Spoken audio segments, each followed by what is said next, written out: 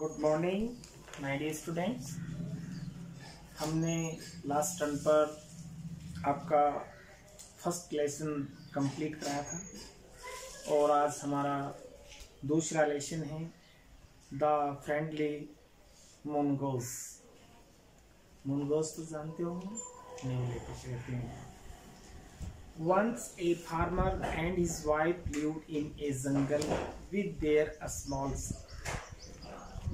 बहुत समय पहले एक किसान और उसकी पत्नी एक गाँव में अपने छोटे से बेटे के साथ रहते थे। They loved him very much वे उसे बहुत प्यार करते थे। We must have pet the farmer said to his wife one day एक दिन किसान ने अपनी पत्नी से कहा कि हमें कोई जंतु पाल लेना चाहिए। पेट मीन्स पालना वहन आवर सन ग्रोज अप जब हमारा बेटा बड़ा हो जाएगा he will need a companion तो उसे एक दोस्त की आवश्यकता होगी कंपेनियन साथी। This pet will be our son's companion और वो पालतू पशु हमारे बच्चे का है, साथी बनेगा। His wife like the idea और उसकी पत्नी को ये विचार पसंद आया। One evening the farmer brought with him a tiny mongoose एक दिन, किसान अपने साथ एक छोटा सा नेवला लाया। It is a baby mongoose said his wife उसकी पत्नी ने कहा, ये छोटे नेवले का बच्चा है। But will soon be fully grown लेकिन ये शीघ्र ही बड़ा होगा। He will be friend to our son और ये हमारे बेटे का दोस्त बन जाए। Both the baby and the moon mongoose grew up वो दोनों नेवला भी और वो किसान का बेटा भी बड़े होने लगे। इन फाइव और six months the mongoose had grown to its full size a lovely animals with two shining black eyes and a bushy tail और पाँच या छह महीने में नेवला का जो बच्चा था वो बड़ा हो गया वो एक प्यारा पशु है काली आँखों वाला और झाड़ू जैसी पूंछ वाला हो गया The birds, the farmer's son was still a baby in the cradle, sleeping and crying alternately. और किसान का वो बच्चा भी छोटा था पालने में पड़ा रहता था सोता रहता था और कभी कभी रोता था। क्रेडल पालना कहते हैं जिसमें छोटे बच्चों को सुलाते। One day the farmer's wife wanted to go to the market एक दिन किसान की पत्नी बाज़ार जाना चाहती थी। सी फ़ीड द बेबी उसने बच्चे को भोजन कराया and rock him to sleep in his little cradle और उसने उस बच्चे को उस पालने में सुला दिया। Picking up the basket she said to her husband टोकरी उठाकर उसने अपने पति से कहा आई एम टू द मैं बाज़ार को जा रही हूँ। द बेबी स्लीपिंग बच्चा सो रहा है। Keep an eye on him उस पर नज़र रखना। कीप एन आइज़ नज़र रखना। Frankly I don't like to leave the child alone with the moon वैसे तो मैं इस नेवले के पास अपने बच्चे को अकेला छोड़ना नहीं चाहती। You needn't be afraid said the farmer किसान ने कहा, तुम्हें डरने की आवश्यकता नहीं है. The mongoose is a friendly animal जो नेवला होता है, वो एक मित्रता वाला पशु होता है। It is a sweet as our baby and they are the best of friends you वो हमें हमारे बच्चे की तरह ही प्यारा है और तुम तो जानती हो, वो हमारे बेटे का अच्छा दोस्त भी है।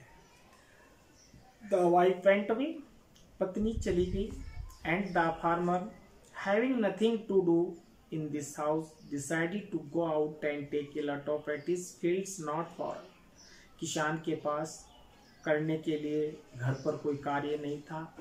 इसलिए उसने पास के खेत पे जाने का निश्चय किया।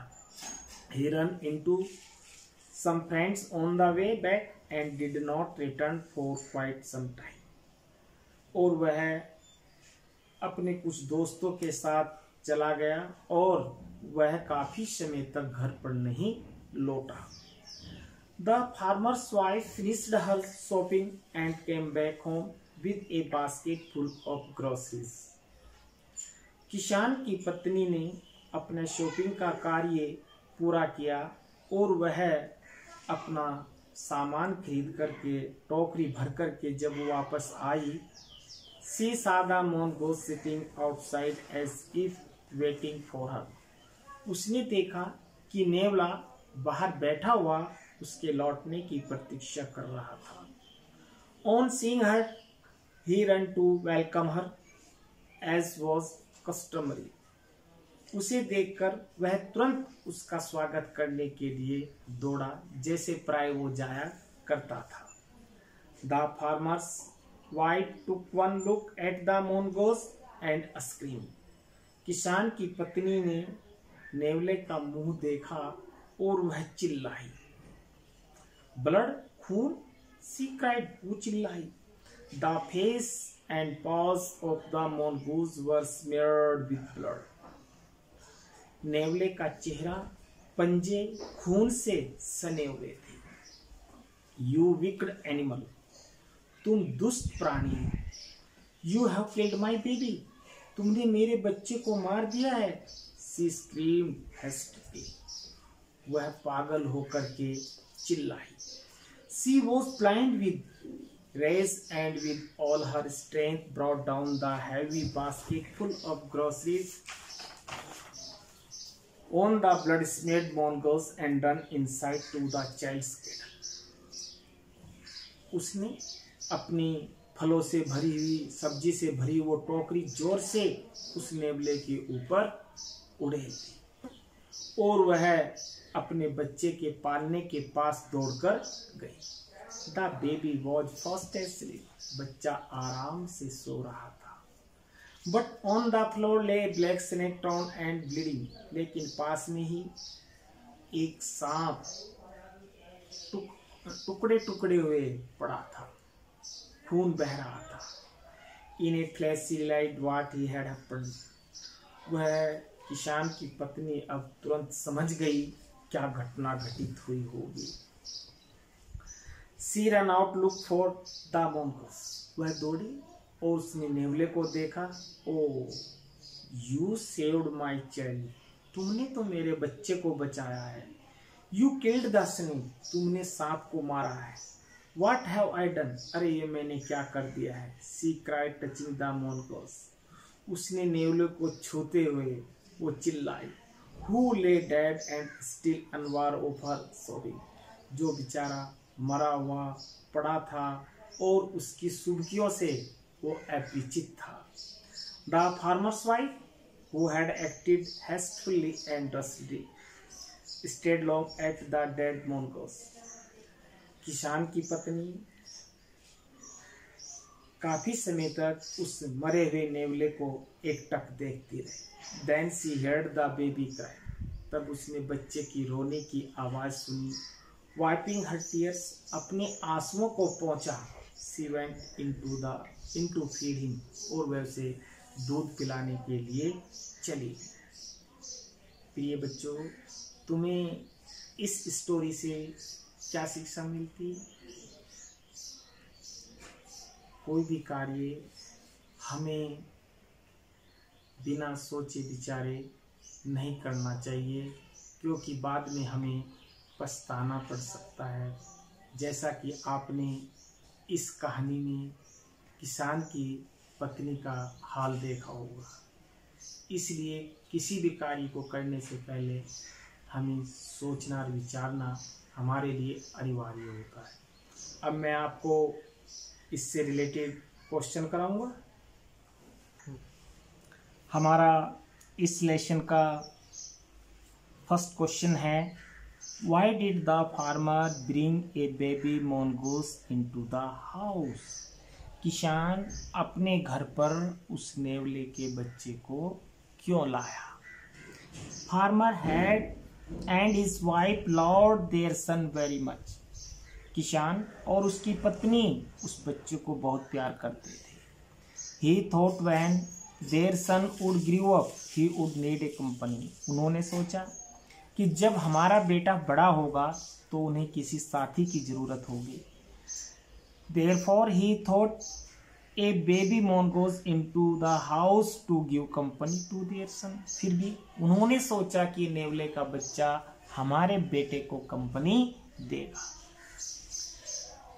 Why did not the farmer's wife want to leave the baby alone with the mongoose किसान की पत्नी अपने बेटे को नेवले के पास अकेला क्यों नहीं छोड़ना चाहती? थी she fear that mongoose might harm her उसे डर था कि नेवला कहीं उसके बेटे को नुकसान ना पहुँचाए।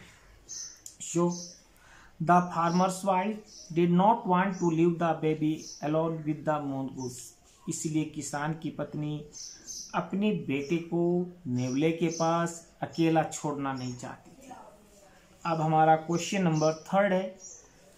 What was the farmer's comment on his wife fears किसान का उसकी पत्नी के डर के ऊपर क्या कमेंट थी, क्या टिप्पणी थी? The farmer commented that there was nothing to be afraid किसान ने अपनी पत्नी से कहा तुम्हें डरने की आवश्यकता नहीं है। He said that the mongoose was a true friend and pet animals of उसने कहा कि नेवला हमारे बेटे का अच्छा मित्र है और वो हमारा पालतू पशु भी है। Question number four why did the farmer's wife strike the mongoose with her basket? किसान की पत्नी ने अपनी टोकरी से उस नेवले पर आक्रमण क्यों किया?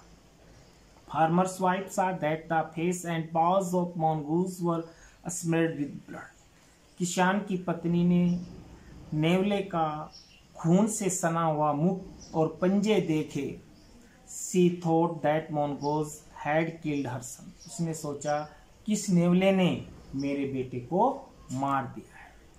In a fit of anger she struck the mongoose with her basket और उसने उस नेवले पर अपनी टोकरी से प्रहार कर दिया।